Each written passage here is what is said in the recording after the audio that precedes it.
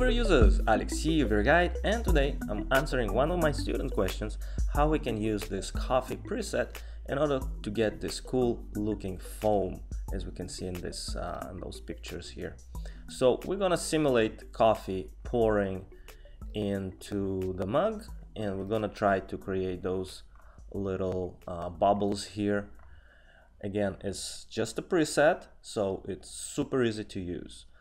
Now let's go to my 3ds Max. As you can see here, I'm just using a sphere to create a uh, object that I can put in my my coffee. So basically I stretched the sphere, sliced it in half, remove the top, put shell modifier on it, and then with the editable poly and soft edges I pulled up the back to kind of make this cup okay? And I adjusted a little bit but that's for the camera look. So let's leave it as as this cup right here and uh, let's measure the size. That's very important. The size of our mug let's see here. So it's about 85 millimeters that's like 8 centimeters. That's a big mug even though it's standard it's a little bit bigger than usual. So if we draw a box here we can see that the height is 8.7 slightly maybe less so about 8.5 so that's about the right size of the mug okay? That's very important to start with to have the right height about 8 centimeters. And if we go to my unit scale that's also very important. Unit setup we can see I'm in centimeters and my unit system also in centimeters. That's the most important thing here. Now let's go and add uh, that coffee preset. So I'm gonna click. I actually need to add a sphere here before we do that because our uh, coffee preset is going to go on that sphere. So I'm gonna lift it up like this, right in the middle. And we're gonna uh, use that to drop our coffee preset. So let's click on our coffee preset and uh, voila. The simulator was created with a couple uh, adjustments here. So we can see we have water and the water got animation already on it. So it starts from nine, it goes all the way here and then it drops to zero. So I'm actually going to increase that. I want to drop about 20 centimeters of coffee, a little bit more than the default. I mean, you can drop as much as you want. That depends on how much you want to fill up your cup. So, and as you can see here, we have a foam preset already adjusted. We're gonna probably have to um, tweak the particle life if we want to if we want those bubbles to live certain life we can limit it so they will pop at the end and kind of dilute and settle down. Okay now uh, regarding my uh, simulation here I need to bring it let's bring it to level zero. I'm gonna bring this a little down here and now let's adjust this to match our size. So let's go a little higher like that. And let's adjust here the size. So what we want to do is just to have right in the middle here.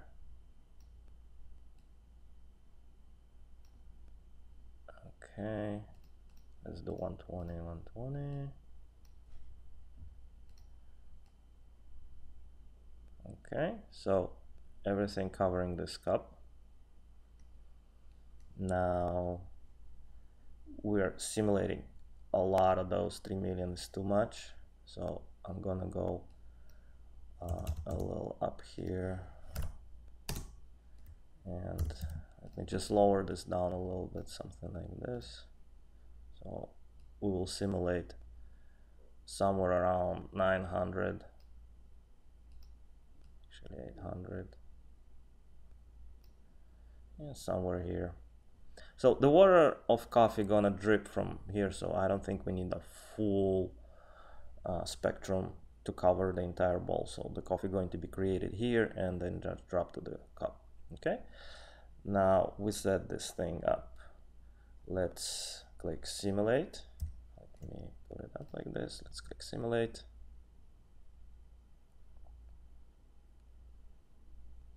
And we can see the coffee is dropping down nicely. And I already can see some nice line here going on inside okay I'm going to uh, stop the simulation here on this uh, frame 24 and uh, let's do a test render. So for test render we obviously need to bring some lighting. And uh, we have Chaos Cosmos to help us with that. So I'm going to let's get this HDRI and uh, let me move that to the side here so we got our HDRI image. Now let's wrap surface uh, V-Ray plane and let's get also camera. V-Ray physical camera whoops something happened here. I'm going to actually delete this camera and make it from here. V-Ray physical camera just drag it to the object alright I'm gonna click C go my, to my camera lift it up zoom a little bit okay now let's hit render and see what we get.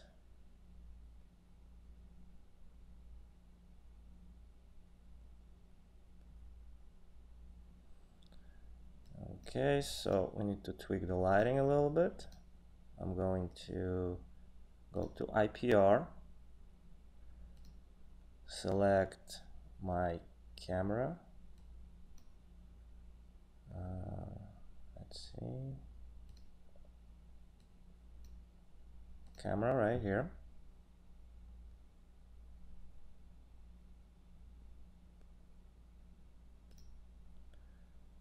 And what we need to do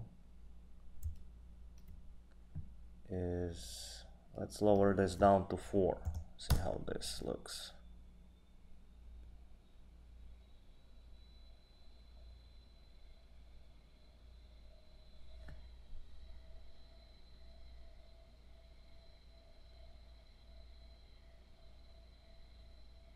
Okay, looks nice and bright. And we already can see that the foam kind of getting nice shape here. So let me exit my IPR. I'm actually gonna go here and uh, adjust the lighting without this preset. I don't want it to take any time on calculation. So uh, let's let's do another thing. I'm gonna zoom out a little bit and let's get some texture to this uh, wood um, something similar to I guess maybe something like this. I want to get like dark wood.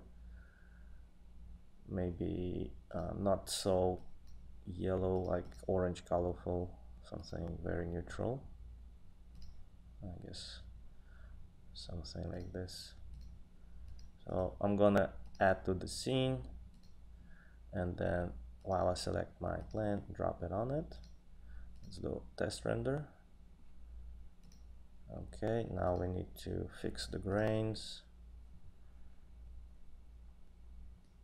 Right here. And again we can use uh, IPR in order to help us with this with those grains rotation. So I want it to be straight. Like this and I also see that the grain is a little big so we can go here and change the tiling. We can also do it with um, UVW map but I'm just gonna do it really quick here. Just double the size. And in reflection 2 I'm gonna go inside here and do tiling 2 and 2 and let's see if they have some bump also. And they have bump. So the bump gonna get also tiling of 2 okay. So far so good. I still feel a little dark so what I'm gonna go and do in my camera actually reduce the shutter speed to make it nice and bright. I can always dim it down uh, and bring more contrast it's way easier than uh, removing the contrast. If it's too dark and you don't have information it's very hard to bring it okay? So now let's go to our frame 24 and unhide. Let's do unhide all okay. So at this point I think we can do a test render just to see how the stuff works. So again I'm going to disconnect disconnect my IPR and in my render uh, I didn't show you this but I'm using lower settings 124. I'm using buckets to render. So by default this one to 24 so I lower it down to 4 and I also changed to irradiance map here very low with 20 and 20 that's the only thing I did basically just to have my renders to go a little bit faster. All right now in light cache it's 1000 um, so everything by default. My rendering resolution is full HD here 1080p uh, nothing to it. So let's click render you can see the foam is getting calculated. And this foam's taking some time to render. But we can see from the preview already that we're getting nice foam around this area. Let's actually get some detail I'm going to cancel and uh, zoom in a little more. Just so we can see this foam detail here. And what I'm gonna do is I'm actually gonna add some texture to the um, through this material library. We're gonna get let's get this ceramic add to the scene and then I'm gonna add it to the bowl and to my mug. All right now let's hit render. See how this stuff works. All right let's stop this. So just by looking at this uh, my bubbles looking a little bit too small. So uh, you can kind of eyeball it I guess. There is uh, I'm not sure if there is any other way to get the size precisely but what I'm gonna do I'm actually gonna go up a little bit I mean with the scale size here and uh, let's resimulate this. So with the bigger cell size I already can see that the simulation is going a little bit faster. Obviously small detail takes a little bit longer to produce. Okay so I'm gonna get another angle here. And uh, let's stop this guy. And do another test render to see how our bubbles are getting together. So I really like the color of the coffee and everything and how the bubbles gathering around this area. So it looks kind of promising already from the previous. But again the trick here is to get the right uh, the right size in order to you know look believable and not to blow it up with total cells. Otherwise this whole thing gonna take you forever to uh, simulate and render. So you want to stay in a small enough amount and in enough big bigger size of uh, you know your bubbles and everything to make it look like real coffee. Alright so I'm gonna stop this and I already see that the size is looking a little bit better. Now I want to render this whole full image but I don't want to get as close as that to the detail so I'm going to zoom out a little bit since uh, in the references you know we have like coffee is uh, kind of far away not really extreme close-up so we do have some sort of a distance that I'm trying to get so something like this. And let me just get my FDD so we can see a little bit more into the cup. And what I'm gonna do here let's add a few items similar to let's do coffee apple macbook. So let's do some like scenario where we have kind of macbook coffee pen you know phone maybe. So we have a lot of those cool objects in the cosmos. So um, me get my cosmos here. And let's I don't have iPhone.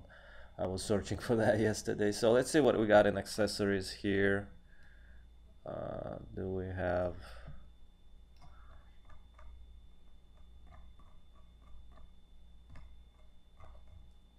you can see we have apples. So click on red we have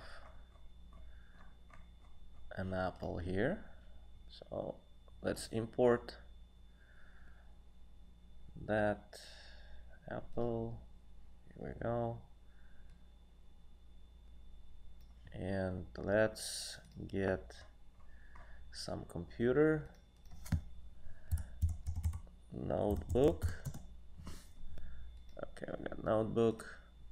Also imported here okay. So let's rotate it. And like that.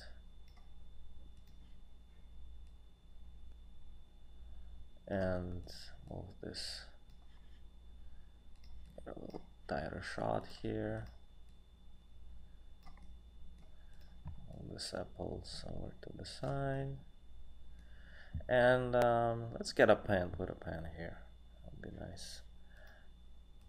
So um, let's see we have pen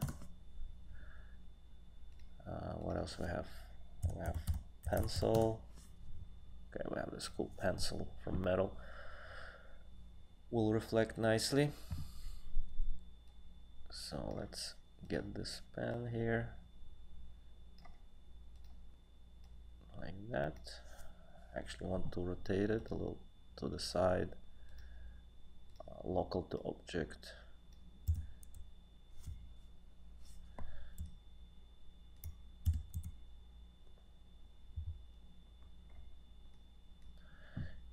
uh, we gotta bring them up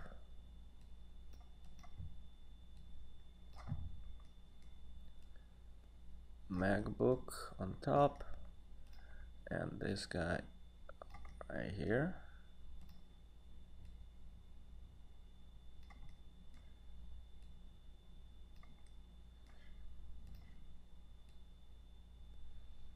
And let me fix the rotation.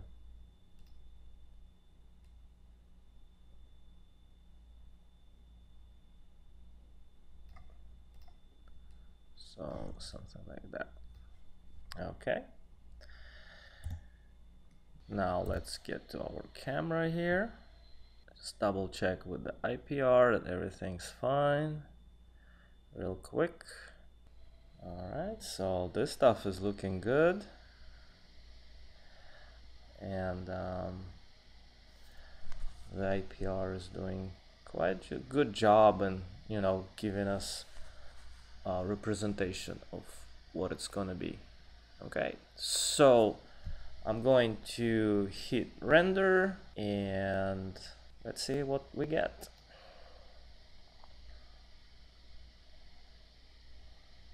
Alright, so the render was done. It's looking pretty good. So I'm gonna take it to Photoshop, add a little bit uh, color correction, curves, contrast, in order to pop out those cool details. And uh, I hope you guys enjoy this tutorial. Let me know what you think about this preset. If you have any questions, post them below. And we have way more stuff in our VFX for ArchViz training. So thanks a lot for watching. This is Alex, your V-Ray guy. Talk soon. Ciao.